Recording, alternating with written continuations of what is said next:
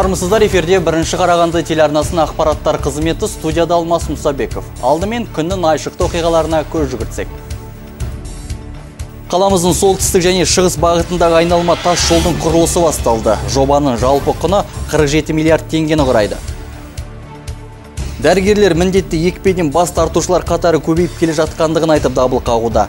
Дүниежүзілік имындау апталығына орай Нұр Отан партиясының облыстық филиалында дөңгелек үстел жиыны өтті. Облысымыздың үздік тәлімгері анықталды. Байқаудың бірінші кезеңіне қатысқан 45 үміткердің арасын іріктелген 8 тәлімгер ақтық бәсекеде сайысты.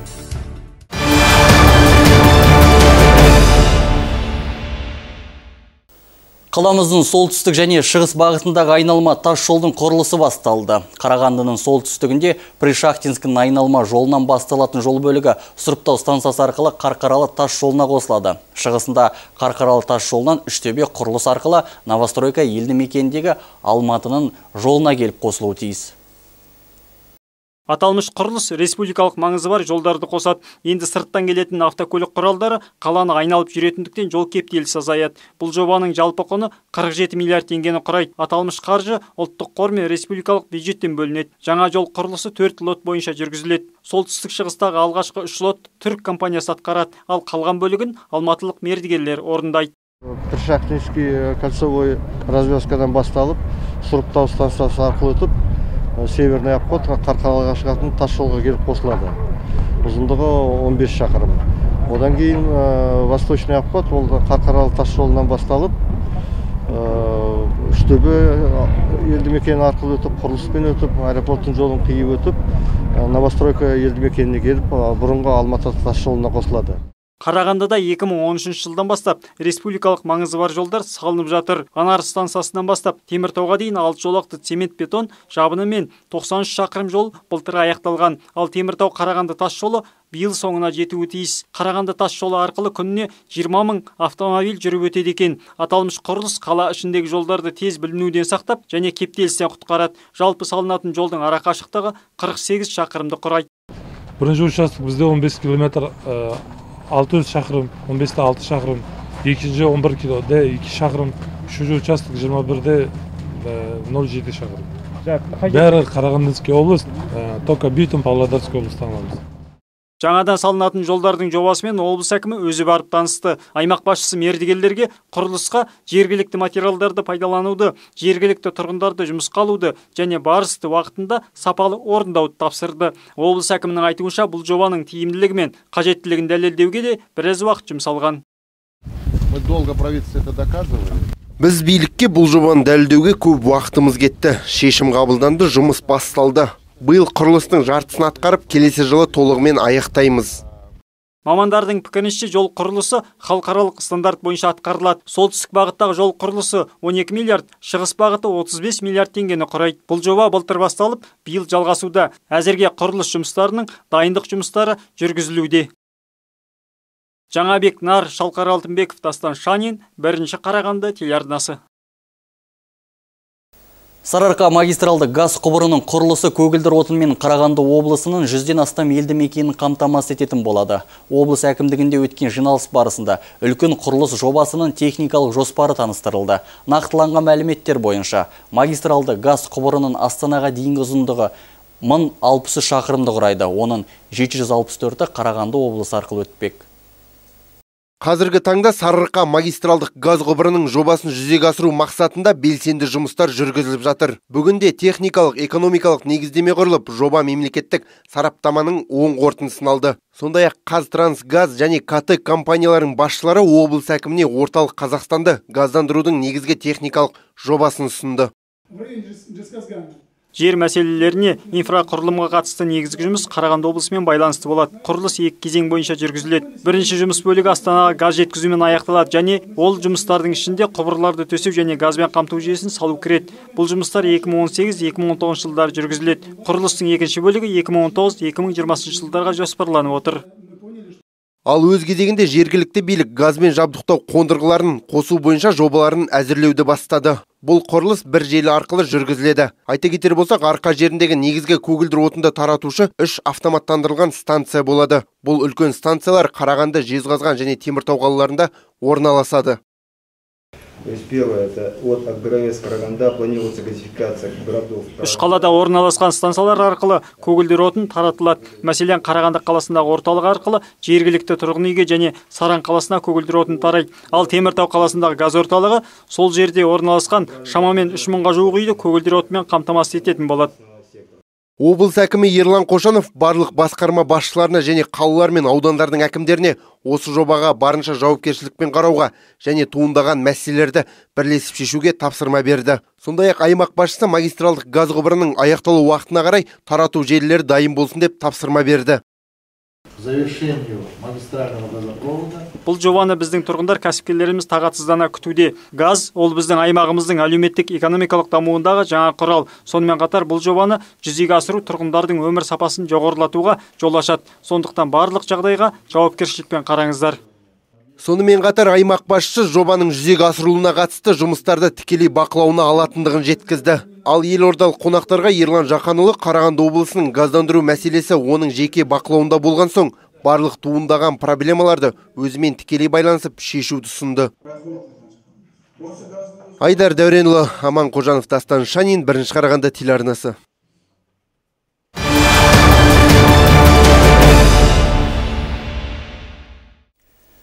Жезқазған қаласындағы Сарыарқа газеті баспанасыз әрі мекемеде көшіп жүр. Сондай-ақ Мысты өлкеде жер алуға өтініш білдіргендер жеке сәйкестендіру нөмірісіз тіркеліп, енді олардың жерді қаншалықты заңды түрде иеленгендер тексерілмек. Сондай-ақ өткен жылы дарынды балаларға арналған облыстық өркен мектеп интернаты қолданысқа берілді. Ал биылғы жылы 320 орындық балабақша ашылды. Өңірдегі ең көп жарамсыз үй жезқазған қаласында тіркелген. Атап айтқанда адамдар тұруға болмайды деп танылған 15 үй қайта тексерістен өткізілмек. Ал 12 үйді қалпына келтіру қажет. Биыл облыстан және жергілікті бюджеттен 200 миллион теңгеден астам қаржыға төрт көше жөнделуі тиіс. Ал бұзылуы тиіс үйлердегі тұрғындар басқа жерге көшіріліп оларға үй сатып алуға қаржы берілмек. Қарағанды облысында ең үлкен осы жезқазғанда көп апатты үй бізде болып тұр. Қазір комиссия құрып осы бір айдың ішінде сол халықтан үйді алып сосын қанша компенсация төлеу керек екенін сол жұмыстарды анықтағаннан кейін облыс әкіміне шығып жаңағы ақша сұраймыз. Ә, реквизиция жасаймыз бірінші халықтан үйді өзімізге алып.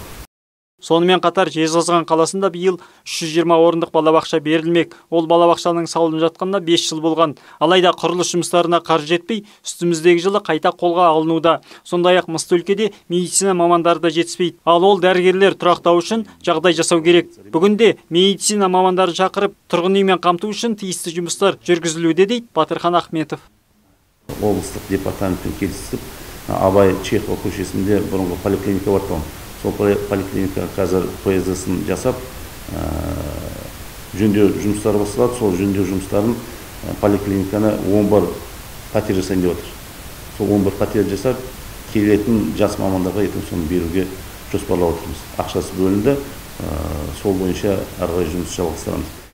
Жезқазғанда биыл жеке кәсіпкердің қаржысына екі балалар бақшасы ашылды. Енді ағымдағы жылы кезекте тұрған үштен алты жас аралығында барлық бүлдіршінді балабақшада тәрбиелеу жоспарлануда. Өткен жылы облыс әкімінің тапсырмасымен дарынды балаларға арналған мектеп интернат ашылып бүгінде 85 оқушы білім алып жатыр. 2019 жылға дейін 900 орындық тағы бір мектеп құрылысының жобасы даярлануда. Сонымен қатар қаладағы сарыарқа газетінің ашылғанына 45 жыл толып отыр. Әкімнің айтуынша биыл газет ұжымына баспана берілмек. Жаңабек нар шалқар алтынбеков дастан шанин бірінші қарағанды телеарнасы Дәрігерлер міндетті екпеден бас тартушылар қатары көбейіп келе жатқандығын айтып дабыл қағуда. Бұл туралы Қарағанды облыстық денсаулық сақтау басқармасының мамандары мәлімдейді. Дүниежүзілік иммундау апталығына орай Нұр Отан партиясының облыстық филиалында дөңгелек үстел жиыны өтті. Жиынға қоғамдық ұйымдардың және түрлі діндердің өкілдері жиналды. Қызылша туберкулез дифтерия және көкжөтел. Бұл жұқпалы аурулардың толық тізімі емес. Халықты иммундау шаралары белсенді жүргізілген арқасында ғана аймағымызда өлім деңгейінің көрсеткіші айтарлықтай төмендеген. Алайда соңғы жылдары әртүрлі себеп салдарынан екпеден бас тартушылар саны көбейіп келеді. Балалар үшін соңғы шешімді ата-аналар қабылдағандықтан екпеден бас тартудың салдары жиі қиын жағдайларға алып келуде дейді денсаулық сақтау басқармасының мамандары По сравнению с 2015 годом, когда была последняя вспышка, снизилась в 19,3 раза. 2015 жылмен салыстырғанда қызылша ауруы екпеден кейін 19,3 есеге азайтылды. Қызамыр 2008 жылмен салыстырғанда 10.070 есеге, дифтерия 1995 жылмен салыстырғанда 1105 есеге, ал көкжөтел 2000 жылғы көрсеткішпен салыстырғанда 3,9 есеге кеміген. Қазіргі таңда ата-аналар белгісіз себептермен екпеден бас тартуда. Бұл деген баланың денсаулығына немқұрайлы қарайтынын білдіреді міндетті екпе салдырмаудың соны қайғылы жағдайға тіпті өлімге әкеп соқтыру мүмкін. Көбіне дін жолында жүргендер вакцинациядан бас тартатын көрінеді. Белгісіз тұлғалар әлеуметтік желілер арқылы екпенің маңыздылығын жоққа шығарып үгіттейді. То что идут отказы. Шынымен де көп жағдайда дін жолында жүргендер бас тартуда. Бұл жағдаймен біз де келісеміз. Ең алғашында вакцинаға қатысты мәселе тұрған кезде біз облыстағы қалаларды аралаған болатынбыз. Көбіне бас тартушылардың қатарында жезқазған қаласы тұрды. Бастарына хиджаб таққан келіншектер бірауыздан қарсы шықты. Дәрігерлердің айтуынша міндетті екпе бірқатар аурулардың алдын алуға көмектеседі. Себебі жұқпалы дертті антибиотиктер емдей алмайды. Сондықтан да облыс тұрғындарынан екпе салдырудан бас тартпауларын сұрайды. 2017 жылы вакцинадан бас тартқандар туберкулез ауруына шалдыққан. Мәселен қарағандыда үш бала теміртау қаласына бір бала аталмыш өкпе дертімен тіркелген. Айжарқын сейсен аман қожанов дастан шанин бірінші қарағанды телеарнасы.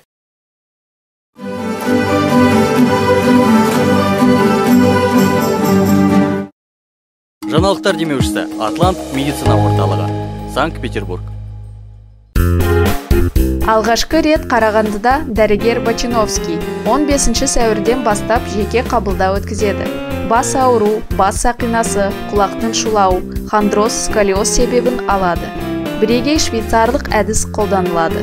Асығыңыз жазба шектеулі телефон 365 30 өзіне және өз балаларына дәрісіз және отасыз өмірге рұқсат етіңіз. Тура қазір телефон соғыңыз 365 30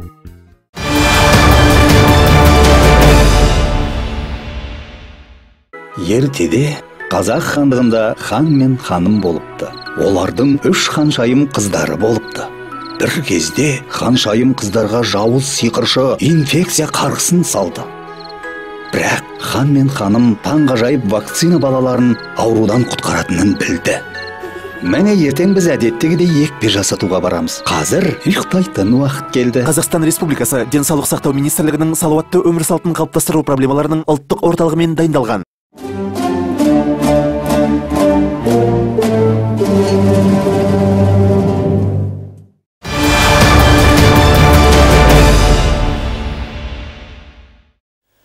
Елбасының болашаққа бағдар рухани жаңғыру мақаласы жарияланғалы бір жыл уақыт өтті. Осы мерзім аралығында облысымыздың әр бөлігінде ауқымды жұмыстар атқарылып, бағдарлама аясында бірқатар игілікті іс жүзеге асты. Мәселен, аймақ бойынша кен көлемінде абаттандыру шаралар жүргізілді. Тарихи тұлғалардың есімдері ұлықталып, мерейтойлар аталып өтілді. Жүз жаңа есім жобасына жерлестеріміз енгізіліп, ұлттық құндылықтарымызды қайта жаңғырту қарқын алды. Бұл бір жыл ішінде жүргізілген жұмыстардың тек бір бөлігі ғана. Елбасының мақаласы өткен жылдың сәуір айында барша халыққа жарияланған болатын. Содан бері қаламызда да, аймағымызда да түрлі шаралар легі бастау алды. Облыс орталығында рухани жаңғыру бағдарламасының жобалық кеңсесі жұмысын бастады. Арқа жерінің тұрғындары бір жыл бойы атқарылған жұмыстарды айқын байқауға болатындығын айтады. Оның айғағы облысымызды көркейтіп, гүлдендіру мақсатында аймағымыздың әр өңірінде абаттандырылған көшелер, бой көтерген балалардың ойын алаңдары, саны артқан балабақшалар. Мұны қала тұрғындары да растап, әкімшілік ризашылығын білдіруде. Енді балаларға площадкілер осы неге келеміз? Паркке. Балаларға жағдай жасалған адамдарға осы. Балаларға былай үкімет істеп жатыр ғой қуаныштымыз. Бағдарламаны керек жаңғырту. Халыққа бізге елбасымызға рахмет осындай жағдай жасап жатқан. Міне немеремізді әкеліп паркке әкеліп демалып жүрміз. Өте жақсы. Жалғанып жатыр селіп жатыр жаңа балабақша салынып жатыр тіл дамыту деген. Енді басты бағдарлама соған тілден кейін сол рухани жағы сол тілмен байланысты. Мына қарап отырсаңыздар мінекей кеңес уақытынан қалған жазулар бар әлі күнге дейін. Байқайсыздар ма соның бәрі нетсе кішкене? Болашаққа бағдар рухани жаңғыру атты мақала тек сөз жүзінде емес әр салада өздігінше іс жүзінде де жүзеге асырылу үстінде дейді ұстаздар тарапы. Мәселен мектеп оқушылар арасында ауқымды шара роболенд жаһандану заманындағы жаңашылдықтың бастамасы болды. Сонымен қатар сакралды қазақстан бағдарламасы аясында еліміздің тарихы терең көркем жерлерін таныту мақсатында оқушыларға экскурсиялар жүргізілді. Бұл тек мақала аясында жүргізіліп жатқан жұмыстардың тамшыдай бөлігі ғана. Жалпы рухани жаңғыру жаһандық үдеріс іске төтеп беретін батыл шешімдердің бастамасы болды дейді ұстаздар қауымы. Жалпы бұл рухани жаңғыру бағдарламасының аясында біздің орталықта көптеген шаралар өтті. Мысалға бізде мынау үздік мұражайлар орта білім беру ұйымдарының ішіндегі мектеп мұражайлары тақырыбында виртуалды виртуалды мектеп мұражайы деген конкурс байқау өтті. Байланысты біздің мектепте яғни біздің қалада көптеген өзгерістер болды. Яғни бізде көшелерді не тағы да мәдени орталықтарда көптеген іс шаралар өтті. Рухани жаңғыруға байланысты рухани жаңғыру дегеніміз ол өзінің отанына деген сүйіспеншілігін арттыру сол жердегі тарихты ашу. Сондықтан да біздің орталықта тұрғандықтан үш жүздің басын қосқан ұлытау өңірін алып отырмыз ұлытау өңіріне біз әр мектептен айына барлық бір бір мектептен барып балалардың өзінің туған жерін таныстырамыз. Еліміз көп жылдан бері қолданып келген кириллицадан латын әліпбиіне көшу туралы сөз қозғала салысымен бұл шешімге барша жұрт бір адамдай қолдау көрсетті. Қағаз жазылғанның бәрі кириллица жазылғаннан кейін латынға ауысу өте қиын болады. Мүмкін ол процесс бір 10 жыл 20 жыл алуы мүмкін. А негізі ол керек нәрсе оны қолдаймын. Рухани жаңғыру мақаласында төрт негізгі бағыт белгіленген. Тәрбие және білім. Атамекен рухани қазына ақпарат толқыны. Қойылған басты мақсаттарды әр өңірде өздігінше жүзеге асыру үстінде. Осы бағдарламалық мақалада көрсетілген мақсаттардың жүзеге асуы халықтың ауызбіршілігі мен ізденімпаздығында. Аяжан ералықызы жасұлан мақұлбеков дастан шанин бірінші қарағанды телеарнасы Облысымыздың үздік тәлімгері анықталды. Байқаудың бірінші кезеңіне қатысқан 45 үміткердің арасын іріктелген 8 тәлімгер ақтық бәсекеде сайысты. Олар үш кезең бойынша бақсынасып өзара мықтыны анықтады. Рухани жаңғыру бағдарламасы аясында ұйымдастырылған шараға Қарқаралы, Шейтабай, Ұлытау аудандары мен Қарағанды және Сәтпаев қалаларының көшбасшылары қатысты. Бұл майданда жаудың көзін құртамын. Ажалуын мүмкін мен де құшайын. Отан үшін мерт болса егер жас жаным, өкінбеймін, өкінбеймін. Әлия Молдағұлованы сомдаған Меркинова Гүлнұр. Ол да үздік тәлімгер байқауында бағын сынағандардың бірі. Сайыстың таныстыру кезеңінде қатысушы Ләззат пен Әлия сынды батыр әпкелеріміздің рөлін сомдаған болатын. Сәтпаев қаласынан келген маман соңғы 5 жыл бойы тәлімгер болып қызмет жасауда. Ол бұл мамандықты таңдаған себебі балалармен жұмыс жасауды ұнататындығын түсіндірді. Сондай-ақ ол осы байқауға жоғарғы дайындықпен келгендігін де жеткізді. Тәлімгер ретінде мен әрбір баланың жан дүниесін түсінуге тырысамын. Бұл байқауға қатысқан себебім өзімді жаңа қырымнан тануға және өзгелерге өзімнің жұмысыммен таныстыруға қатысып отырмын.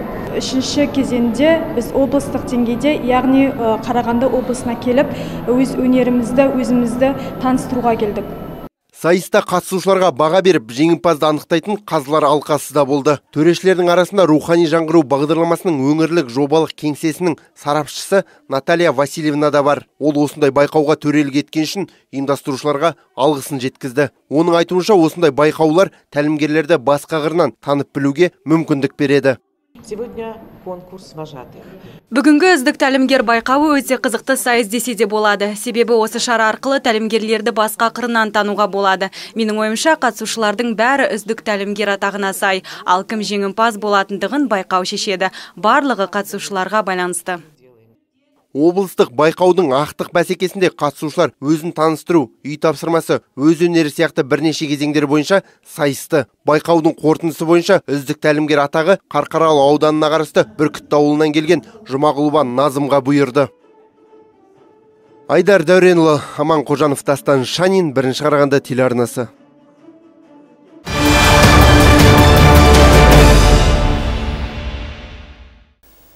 Бүгінгі күні Қарағанды еңбек нарығында 3600 бос жұмыс орны бар. Дәстүрлі жұмыс беру жәрмеңкесіне 65 түрлі мекеме өкілдері мен білім беру ұйымдары қатысты. Шара нәтижелі жұмыспен қамтуды және жаппай кәсіпкерлікті дамыту бағдарламасын жүзеге асыру бағытында ұйымдастырылған.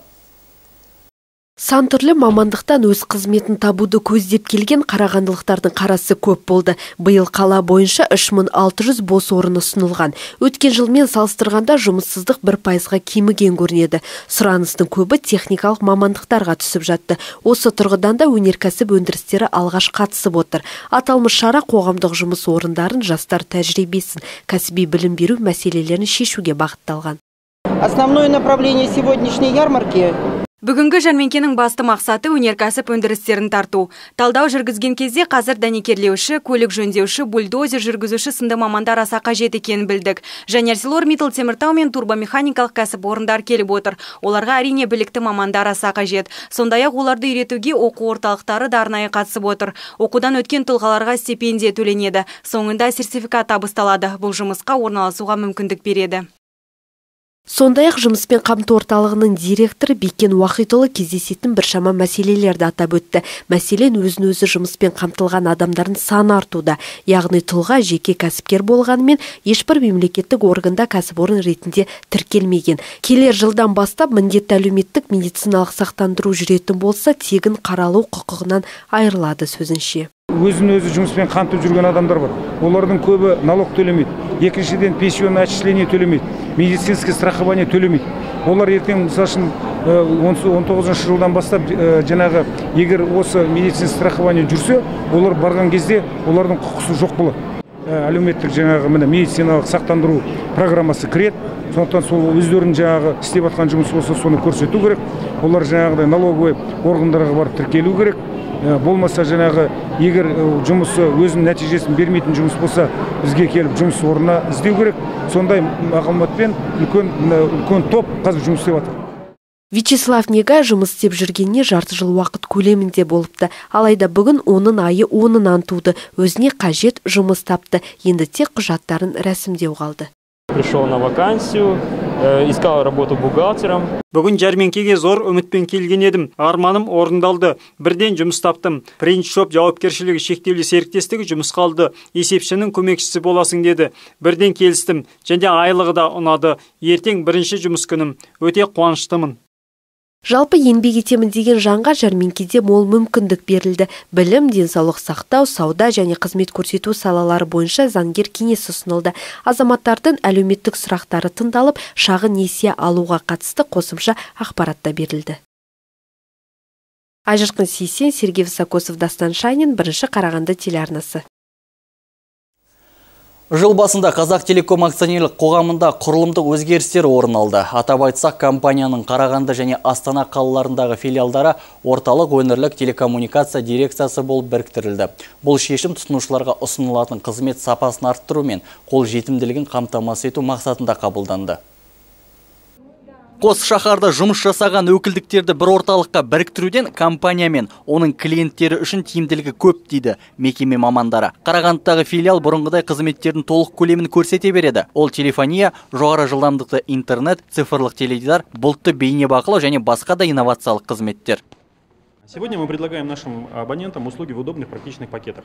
Бүгін біз клиенттерімізге ыңғайлы және тиімді топтамаларды ұсынамыз. Онда компьютер ойындарының жанкүйерлері мен қарапайым тұтынушыға дейінгі түрлі деңгейде тұрғындардың қалаулары қарастырылған. Бұл тіркелген және ұялы байланысы бар үй және мобильді интернет топтамалары. Мысалы, VIP отбасы және табысты отбасы топтамалар желісі. Біздің ұсыныстар жеке деректерді қорғауға және балаларды қалаусыз мазмұндағы контенттен қорғауға бағытталғандығында атап өткен жөн. Биыл Қазақтелеком компаниясы Қарағанды облысында қызмет көрсету сапасын және абоненттердің қатарын арттыруға бағытталған стратегиялық міндеттерді орындады. Барлық бизнес үдерістер оңтайландырылып, түрлі кедергілер азайтылды. Нәтижесінде шешім қабылдау жылдамдығы артты.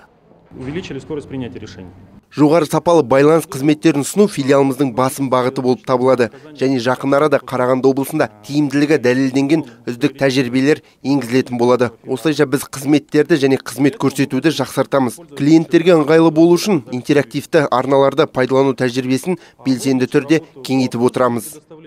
Мәселен енді компания абоненттері бірыңғай 160 номерін немесе танымал WhatsApp мессенджерін пайдаланып, ағымдағы жаңа тарифтер бойынша кеңестер алып, қызметтерді қосуға өтініш бере алады. Сонымен қатар telecom.kz порталында ұсынылған қызметтердің сапасына өтініш жазуға немесе кері байланысқа тапсырыс беруге болады. Бұдан бөлек компания Қарағанды қаласы мен облыс бойынша абоненттер үшін арнайы әзірлеген қызықты акциялар мен тосын сыйлар дайындап қойған. Оның қандай шара екендігін алдағы уақытта біле жатасыздар. Алмас Мұсабеков, Жаслан Мақұлбеков, Дастан Шанин, бірінші Қарағанды телеарнасы. Ардақта ағайын апта соны қасиетті жұма күніне келіп түскен ақпараттар легі осындай болды. Егерде бір қызықты жаңалықтарыңызбен бөліскіңіз келсе, редакциямыздың 4206-49 телефонына қоңырау шалуға болады. Әдеттегідей жаңалықтарымыздың толық нұсқасын арнамыздың сайтынан да тамашалай аласыздар. Мен өздеріңізбен қоштасамын. Амандықта жүздескенше.